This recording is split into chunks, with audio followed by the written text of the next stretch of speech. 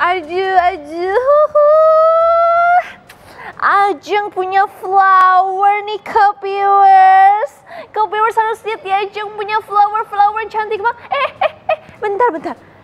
Eh hello. Hello hello. Uh, you are the friend of Jessie. J uh, temennya Jessie ya temennya Jessie Yeah. ya. Oh.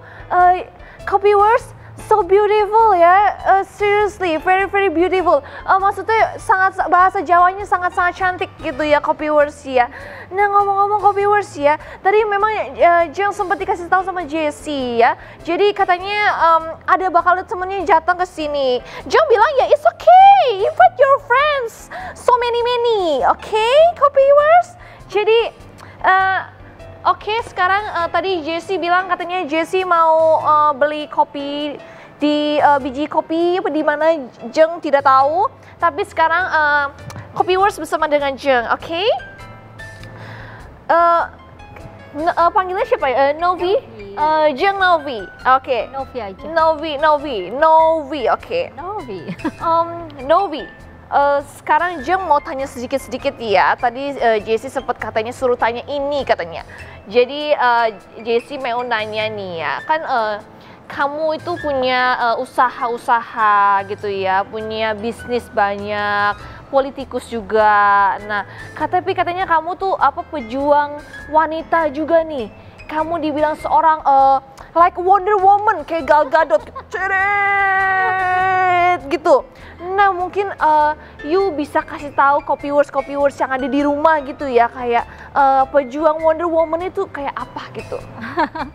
pejuang pejuang perempuan kali ya. Iya, ya, iya. Maksudnya di keluarga atau gimana nih? Uh, katanya nih ya banyak sekali orang-orang Depok itu pada bilang ya Kanovi itu adalah seorang pejuang perempuan dan uh, perempuan dan anak ya katanya children okay. children. Oke okay, ya itu benar. Mm. Uh, saya memang concern ke perempuan ke permasalahan perempuan di kota Depok mm. gitu. Selama ini uh, memang saya selalu aktivitas untuk perempuan-perempuan uh, di kota Depok dan ini saya membuat membentuk Nadi Center itu komunitas yang saya dirikan sendiri. Itu Nadi itu udah singkatan dari Novi Anggriani Munadi. Oh. Jadi memang di situ kita uh, mencoba untuk membantu perempuan di Kota Depok dari misalnya memberikan skill gratis. Saya karena saya memang bidangnya ada salon juga, ada wedding organizer.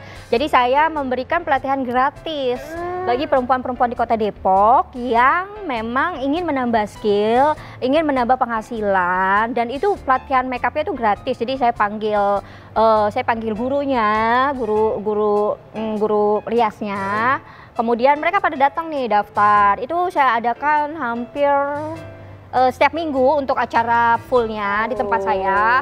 Kemudian It's so tiap hari. fun, kopi was so fun, you know. Jeng mau mampir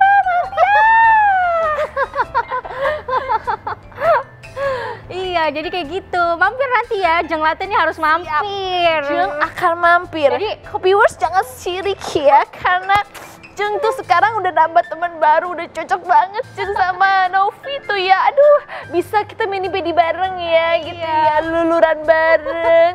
apa uh, rambut apa uh, Jeng nih lihat ya rambutnya nih agak-agak kusut-kusut dikit nih kayaknya pasti Jeng langsung jadi cantik kasih. I'm so I'm gonna be first very very beautiful ya, copy was. nah, wedding wedding organizer ya berarti sekarang kan memang juga lagi nggak bisa juga ya berarti ya. Nah, jadi tadi ada bisnis kafe. Kalau kafe bisa buka, bisa buka, bisa uh, di Depok itu ada pemberlakuan jam malam. Jadi hmm. kemarin itu pertama kali itu sampai jam 6. Jadi semua minimarket, hmm. semua restoran cuma boleh take away.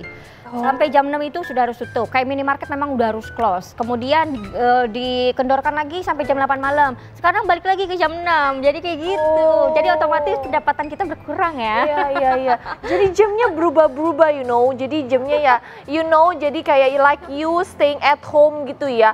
Ya, you punya jam malam tapi jam malamnya berubah-berubah ya. Pusing ya, berarti ya, pusing, ya. Aduh, jujur aja jujur ya, jujur aja nih Jeng juga pusing di sini ya karena juga sama ya uh, eh, PSBB total, PSBB transisi, terus eh, sekarang suddenly tiba-tiba bi- boleh buka, terus habis nanti and then close again, kan Yes. ya eh, nggak ada nggak ada money money masuk ya, jadi pusing nih sebenarnya Jeng nih ya.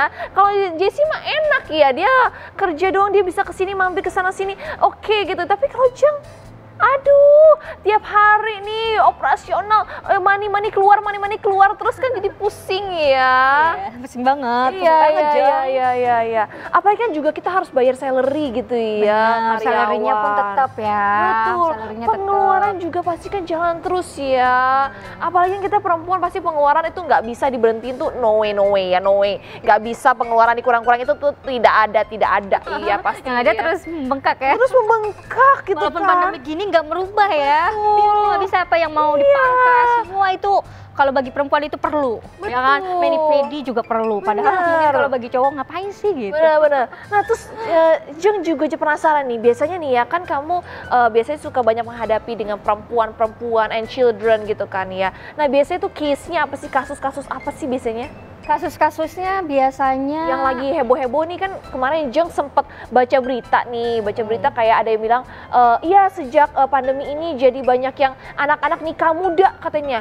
Nikah cepet terus yang eh, udah nikah terus udah gitu Cerai. cerai gitu kan. Iya. Eh, divorce. Nah itu gimana tuh? Ah, iya, itu juga eh, salah satu yang jadi eh, peningkatan di Kota Depok. Mungkin di kota-kota lain juga otomatis gitu ya, otomatis juga menambah di mana pandemik. Jadi orang itu bawaannya sensi gitu kan, istri sama suaminya berantem terus. Kayak misalnya suami istrinya, "Ayo dong, eh, besok kita harus makan gitu kan." That's Mau makan di mana? right. Akhirnya That's jadi right. berantem, berantem, Uh, uh, berantem, uh, akhirnya uh, jadi uh, bercerai. uh. Ini eh, kemarin sempat baca juga di Bandung kalau nggak salah di Bandung itu bre ngantri panjang seperti mau ngantri makanan Oh. guys. Iya bener. Padahal itu mau ngantri perceraian di sidang itu. Jadi hal-hal seperti ini eh, sebenarnya gimana ya? Harusnya memang baiknya eh ya tapi karena pandemik juga, pandemik juga kita kan nggak bisa nggak bisa lawan juga. Kita harus berdamai. That's makanya right. makanya kenapa eh, mungkin kita harus menyiasati lah gitu ya harus Ya, ya, disiasati ya, ya, ya, ya. jangan sampai berantem Uh-huh. dan ini pandemi ini akan lama loh akan lama Oh iya. iya Eh, kalau menurut perkiraan Jeng ya, kayaknya ini mungkin bisa sampai kayak around two years, years, ya, two years, you know, Tiga, ya tiga tiga, bisa Oh. three years ya. Oh my God, I'm gonna be so crazy ya kak, aduh. Ah, Jeng gimana ini kopi wars yang di rumah gimana nih kopi wars? Nah ternyata kopi wars tadi sudah ada yang kirim-kirim message, kirim-kirim pesan loh. Ada kirim pesan yaitu dari siapa? Oh dari Adham Khan 94. Salam untuk Kak Novi dan Jessie. Oke, salam untuk dulu Kak Adham. Iya terima kasih sudah kirim salam. Nah, ada request lagu juga nih, katanya request lagu Rara Lida. Oh, oke. Nanti kita akan uh, puterin ya la- uh, requestan lagu dari Kamil, oke? Buat copywars copywars ini rumah ya, tenang saja, tenang saja. Me- uh, sekarang ini memang Jeng nih lagi sibuk banget nih, karena ya, Jeng setelah uh, talking talking ya, talking talking with uh, Kanovi ya, kayaknya Jeng juga harus punya bisnis lagi deh kayaknya. Nah kira-kira kalau menurut Kanovi nih ya, bisnis apa sih nih yang lagi-lagi uh, yang bisa hype gitu, bisa in gitu? di masa pandemik ini Iya, sembako sembako. sembako sembako tuh Kenapa tuh? Why, why? karena memang kan dibutuhkan sangat dibutuhkan sekarang. Kayak pemerintah juga kan eh, memberikan bantuan sosial kepada rakyatnya. Itu kan pakai bansos. Jadi kalau kita punya toko sembako kita bisa kerjasama nih ke pemerintah gitu loh. Jadi salah satu eh, distributornya. Dan sembako ini juga dan ini juga saya juga jadi berencana pengen buka sembako sejujurnya. Karena Warung, warung ya, warung ya? Warung, warung. Oh, karena nggak ada matinya guys. Yang lain tutup sembako justru rame gitu kan. Ah, oh, nah itu dia copywars. Nah mungkin copywars yang di rumah ya. Uh, interested, uh, tertarik gitu ya untuk berbisnis supermarket kali ya, Oh, minimarket, iya. minimarket mungkin minimarket, warung, warung, warung Again, ya. Terus kita bilang warung ya. Ja- jadi Jeng juga kayaknya pengen buka warung nih.